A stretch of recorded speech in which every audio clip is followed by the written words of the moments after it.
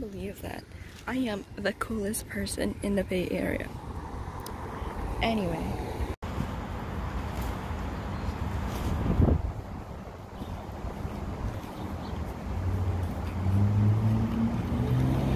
I just like read a little bit at the library. Um, I'm sorry, I'm just getting out. I am just going to go back to my college and then just like using the bathroom to wash it off. And I don't have makeup remover, which is like the reason why, but like, look at that. It just, it's fine, I guess. It's like very, it's not bad. So, and I really don't want the the yarns in between, so I will be concealing this or so. Um that is taking off taking it off but um yeah.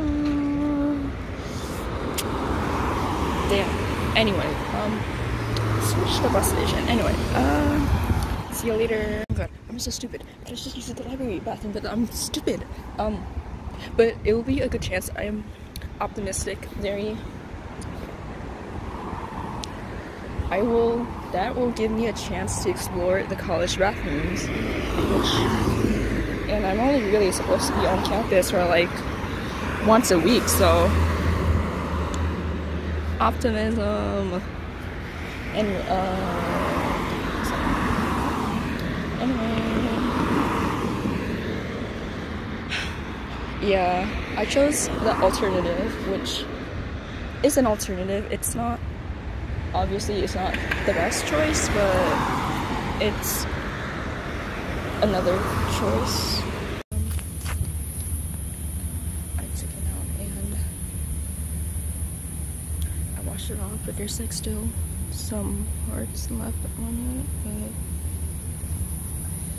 it was a painful fucking 30 minutes. My fucking back is, it was dying. Anyway, um, so I'm just gonna try to find the library and just read a bit. So bye. I'm kind of hungry, so um, just food things. Um, anyway, let me just eat now. Like, so I just got like um stuff, you know, like mac and cheese and, and pasta and stuff. Okay, bye. think I should go home. You know, like maybe it's a little too long out. But um, I and you know whatever. Bloating, just normal girl things. Whatever. So I'm just like waiting to go home because I'm tired and it's been like what three to four hours out by myself and that's like of course by myself it's like I get a lot more tired because it's like there's no there's no pressure to be like just just um get through it with another person you know? And so I'm just gonna yeah just whatever just wait. Bye